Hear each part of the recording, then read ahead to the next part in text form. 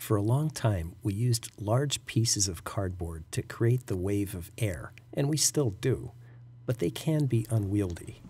Now we'd like to start people off with empty breakfast cereal boxes. Cereal boxes are big enough to make a good wave, lightweight and sturdy enough for very good control. It's even a good place to store and transport your glider. What follows are specific tips from older video using cardboard, but the tips still apply when using boxes.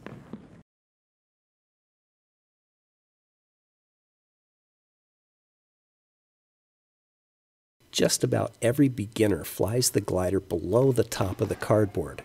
Although you can make it fly if you run fast enough, half the wave is passing over the glider, not helping lift it.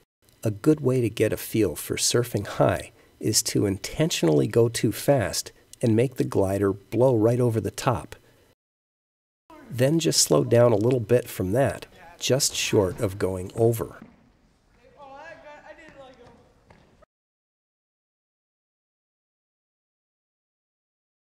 If you flatten out the cardboard angle, you will not deflect as much air. So there's not much of a wave to surf on. Again, you can fly, but you'll have to run fast to make up for the small wave. At first, it seems like the glider turns capriciously, but actually you can turn it with a slight turn of the cardboard to sort of hurt it in the right direction.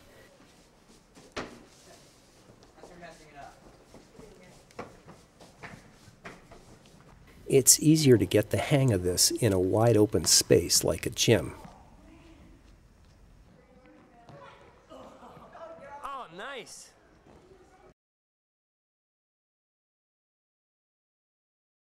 It's not just air vents. If you fly near your friends, you'll get bumped out of the air by their wake of turbulence. Oh, I feel turbulence. Oh. oh no. and uncontrollable.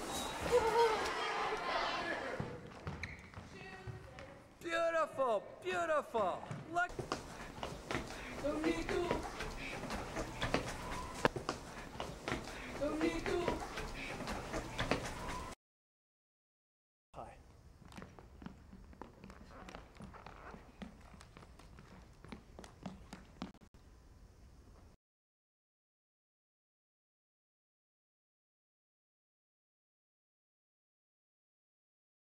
After a while, these delicate single layer paper creations get bumped around enough that they're impossible to adjust anymore.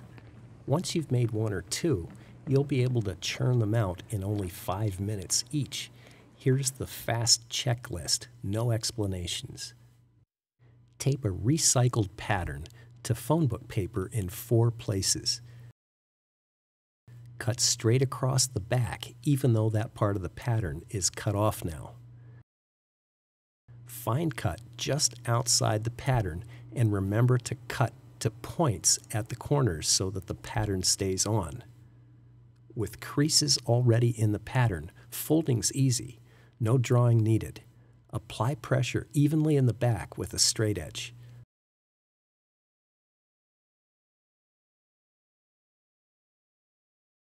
Don't forget the stabilizers.